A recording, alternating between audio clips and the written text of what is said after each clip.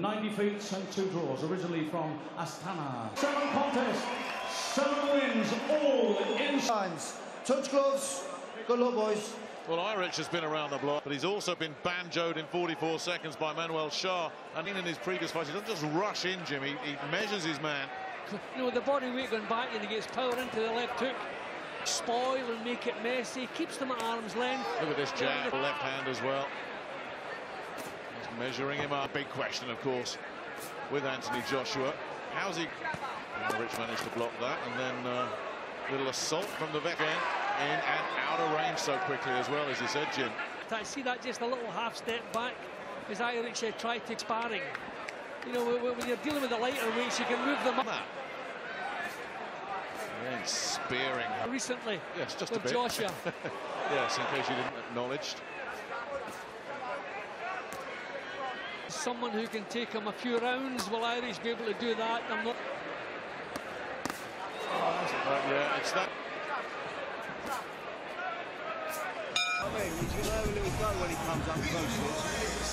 Last time out. That's Skelton. To get rid of him right here. Airich, he's done three in the first, four in the second. He was throwing solid punches towards the end of the openings, the way maybe Muhammad Ali did it at one time. Not, if he can get them. Well, that must have so dispirited Airich. Landed a decent shot. There's nothing he can do about that. A couple of digs to the midsection from Airich. He was out of range for that. But it's just a case of there is banker in this fight so far, Joshua. Yeah, they're the ball. So a breather for Airich about the uh, training camp he was out there with. Takes it all on board. We've got to give a hefty whacks along the way. Kept his chin up. just doing pretty much as he pleases now. Again, he might have been bombed out a couple of times early. Oof, for the big, went for the.